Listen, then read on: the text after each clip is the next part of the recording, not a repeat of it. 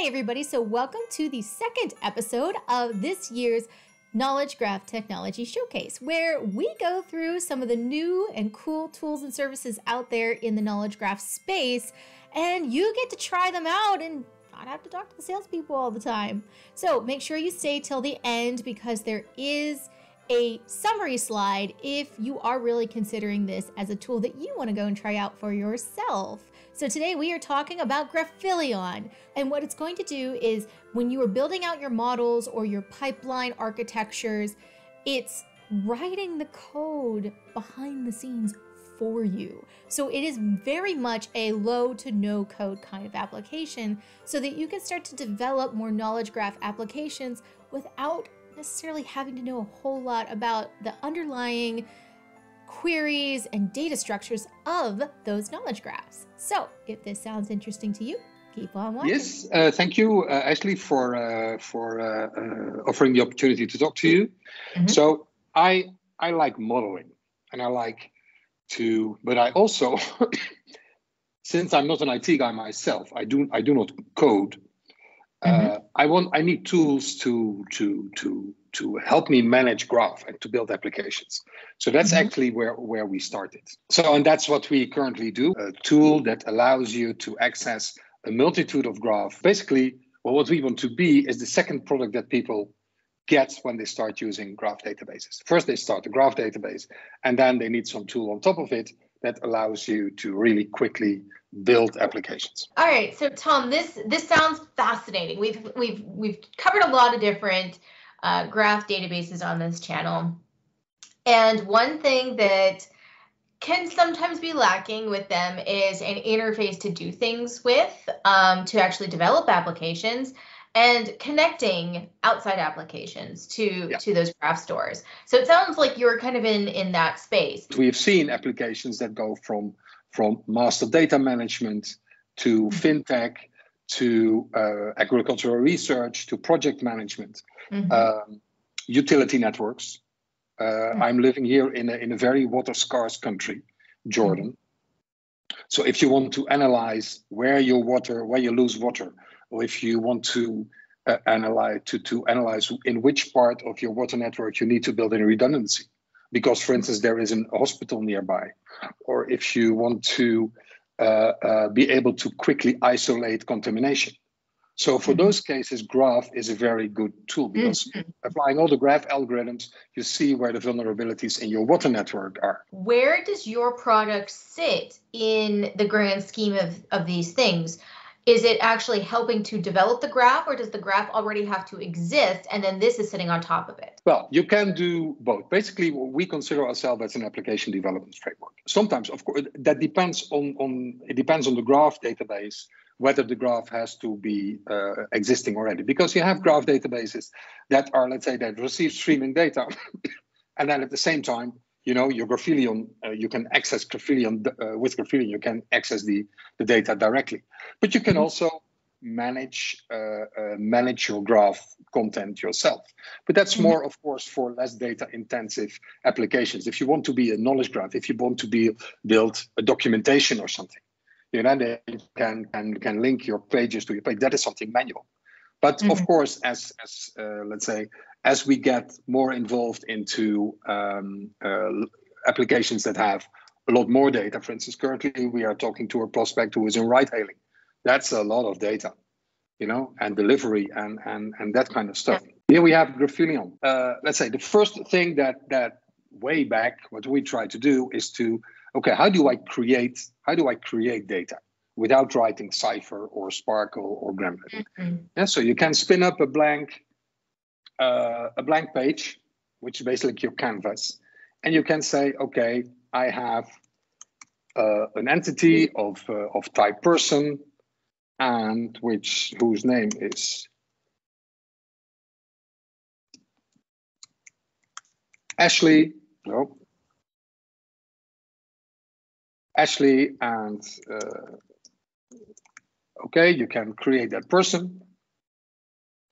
And uh, if I clone her and make her male, oh, and then, okay, you can create two person and you can, of course, we have relationship knows, and then at, since it is a label property graph, you can send here your uh, set your properties on mm-hmm. uh, on So this is basically your uh, your knowledge your, your graph. This is manually graph building, mm-hmm. and uh, if you would have a lot of uh, a lot of, of neighbors. Uh, not this is not the case now. We've built in some things that that we thought would be handy. So if you would start with a single person, you get here on the side, you get your your mm-hmm. uh, your controlled way of of of uh, exploring. You know, imagine that. Well, you know, I know you know a lot of people. So if I would double click on Ashley, I don't want it to explode in my face. Yeah. So mm-hmm. here I can say, okay, I can just uh, uh, gradually do it. Of course, I can also uh, I can also edit edit uh, these things. Um, so that's uh, that's that's basically the graph. You said that so you are creating the label property graph here. Is it actually creating the data behind the scenes when you're drawing yes, on the canvas? That's really no, nice. It's writing directly to, in this case, uh, Neo4j. Uh, I have here my Neo4j and I'm not sure in which one I am uh, currently working. Oh yeah, okay. So I have here my Neo4j. I can go to my Graphileon and I can do match and return n. And there you have Ashley and Tom. I can can I just stop you here for a second? Okay. A lot of folks don't maybe understand how important this is.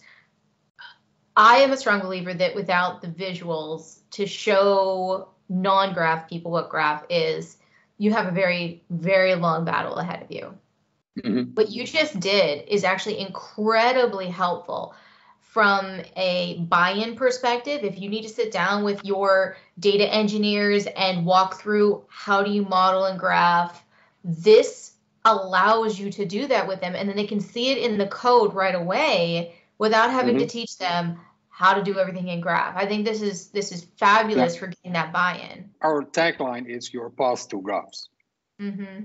we want we that was the that's our mission you know to to make graph accessible to people who are not necessarily developers and uh, let's say this is only uh, uh, let's say two nodes but if i go um, okay, now that's that's completely. The, then I'm going to the next stage, but um, I will show you more examples of this. How this yeah, how this actually great. can be very helpful. The same, you know, when it when it applies to let's say the nodes that I've visited, yeah, or mm-hmm. uh, the, the the the queries that I've run. You know, we have mm-hmm. all that information that is that is available here on the left side, on the right side. Yes. Yeah. And where are those so coming from? Is yeah. that directly tying into no. Neo? Uh, no, they, they we store them at at uh, uh, here on on on our client. Well, they oh, are stored also, but it's so if I run it from here, yeah, I have a run 11. Then here you see it pop it up. Yeah. I see. Mm-hmm.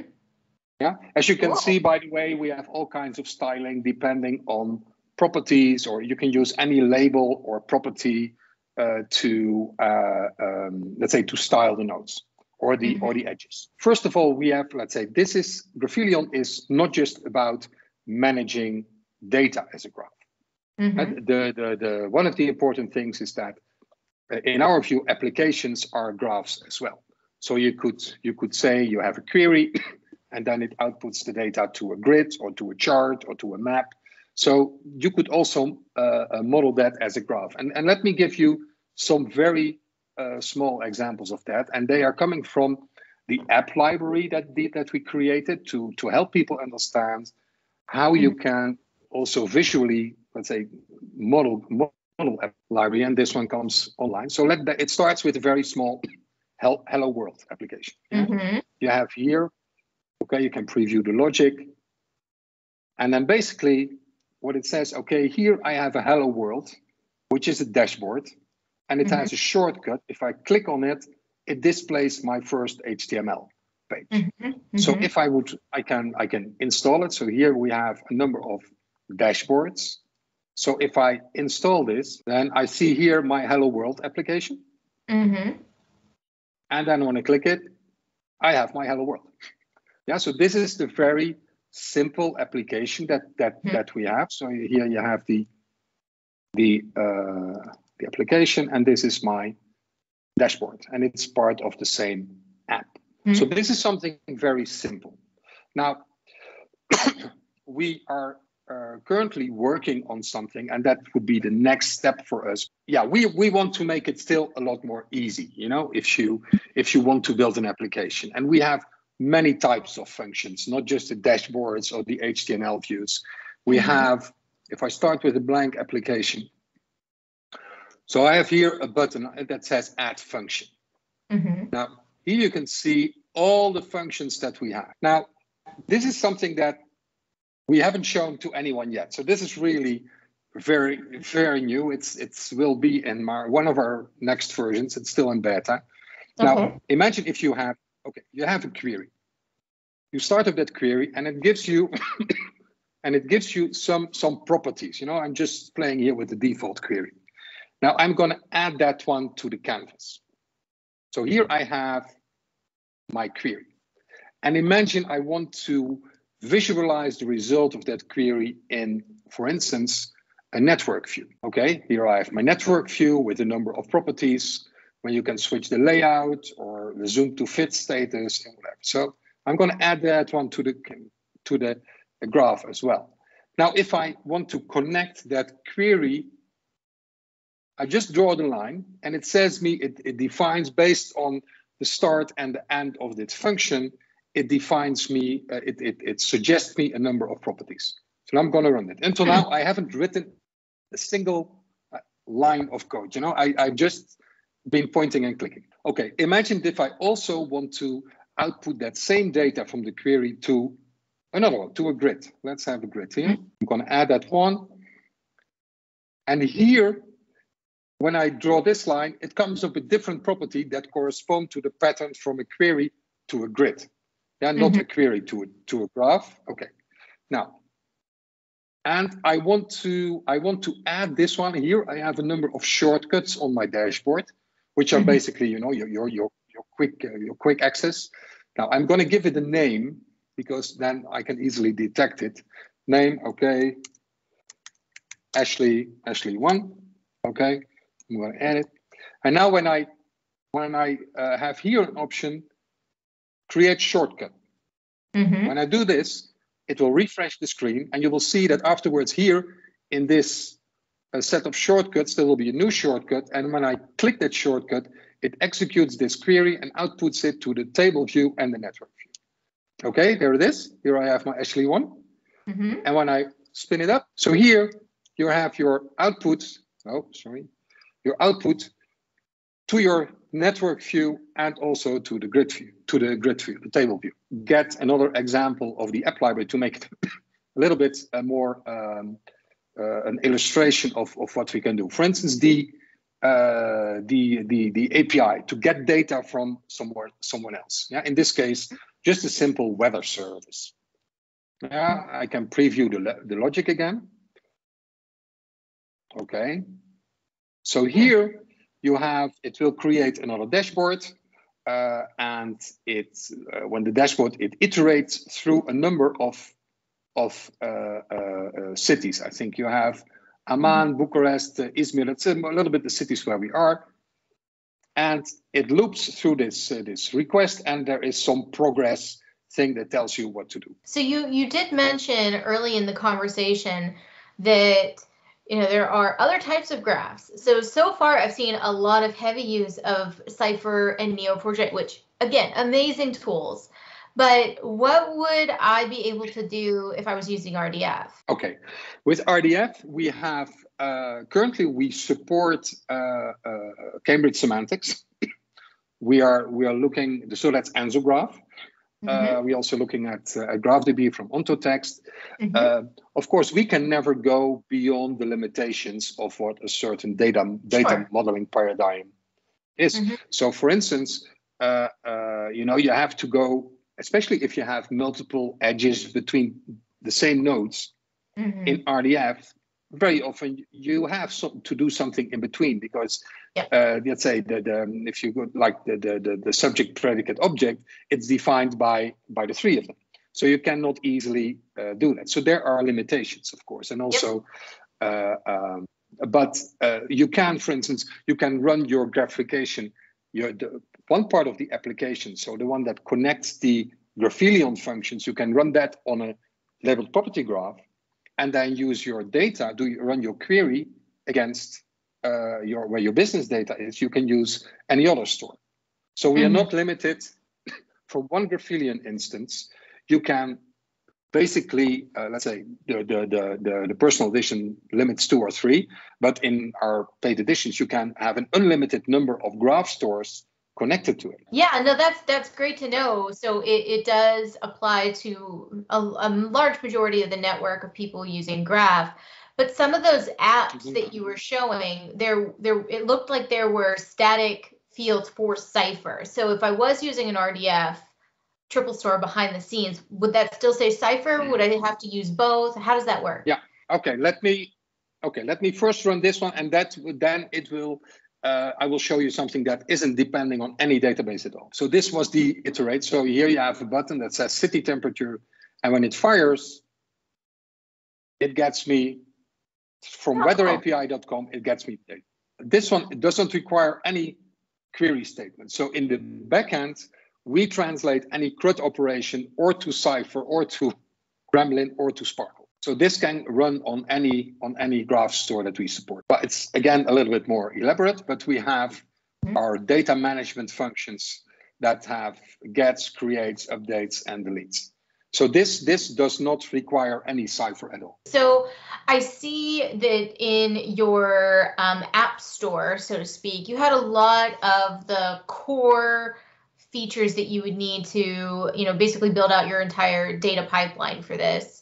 Um, what if somebody had mm-hmm. something mm-hmm. that was unique? Is there a way to add a custom utility in here, or is it only the presets that you have? No, it's and that's definitely something that on our roadmap. But we are, let's say, as we are a small company, we can only uh, uh, move at a certain speed. But sometimes we do for our for our, our our users. You know, sometimes they need really customized stuff, and which I call the Harry Potter Lego. You know, you have your your your specific thing but as long as it as it as it fits in that in that model you can connect everything so mm-hmm. that's also how we build out our library of functions currently mm-hmm. we have between 40 and 50 and each oh. user oh. of course some users uh, yeah sometimes at a certain moment for instance we wanted we needed to integrate uh, we need to integrate the Chart.js function because mm-hmm. we were talking to a customer who, although they are running, they are running on premise, but they were not allowed to go on the internet to use Google services. Mm-hmm, mm-hmm.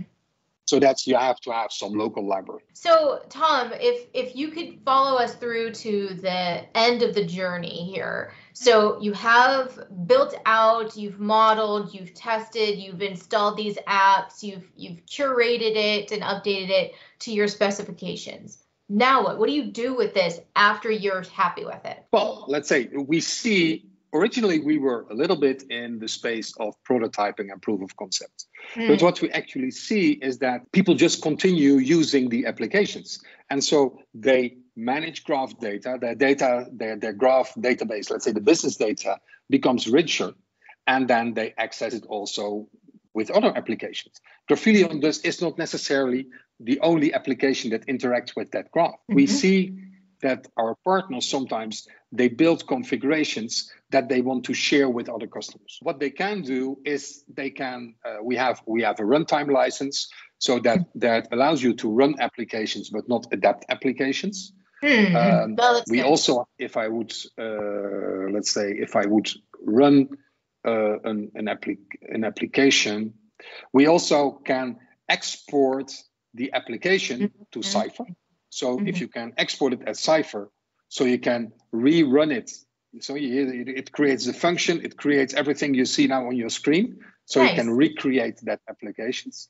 But you can also do it in JSON. What is important if you have, you don't want to mix up your application graph, as we call it, so the Graphileon function, you don't want to mix that with your business data because that can, of course, uh, create all kinds of problem when you do algorithms and stuff like that. Mm-hmm. So what we separated is um, is what we call the application store, which is the store where you store your your Graphileons, and mm-hmm. you have all kinds of other stores which are business data. Mm-hmm. Yeah. So then your application store is not gonna gonna contaminate your business data. Summarize it. It does seem like you're like a stream StreamSets ish kind of thing, but for specific graph applications.